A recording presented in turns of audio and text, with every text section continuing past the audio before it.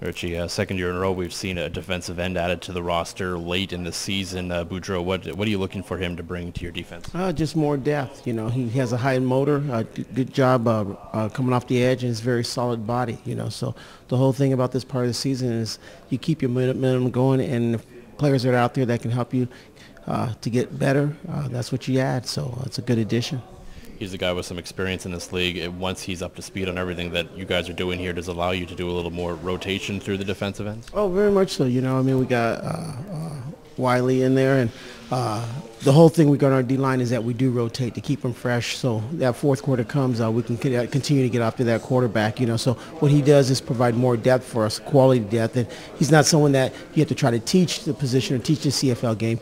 He's had experience. He's been very successful at it. Do you have any idea why he might not have been playing in Hamilton this year? No, that's not my concern. All I know is that he makes us a stronger defense and it gives us more depth and a um, very welcome addition.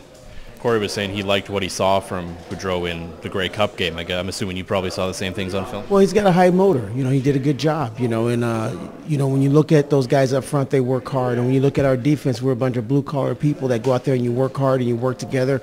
When you do that, good things happen. And uh, he fits right in regarding the characteristic and uh, uh regarding what we do. And he's very excited to be here. You know, he's very thankful for the opportunity, and you know, he's coming to a good football team that has a bright future.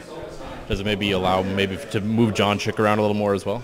Well, I guess anytime you have depth, it allows you to do a lot of different things. You know, how we utilize our, our, our, our personnel and our talent, we put them at different positions to, to utilize what they do.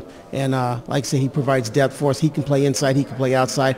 And what you have is when you look up front, you know, we have a lot of quality ball players up there. And it's like, who do you double? You know, so everyone has the opportunity to make plays.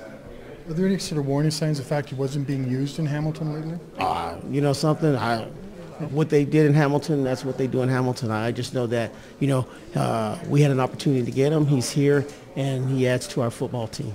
You went through last year getting Alex Hall late in the season. Do you use that sort of experience to maybe work Brandon, Brandon into the defense a little more? Is well, I, yeah, I think so. I think you know, you know, every year, you know, a couple years ago it was. Uh, um, Diamond Ferri and stuff. So, you know, the whole thing is what, what can we do at this point in time to get ourselves better, to make sure that we have depth, uh, to make sure that we cover ourselves because of injuries because, you know, we're not out of the woods yet. You know, we're in the fight here in the, in, in the West and anytime we can get our, make our team better, that's what we're all about. And that's what Corey's is all about. It's about winning. It's about winning now.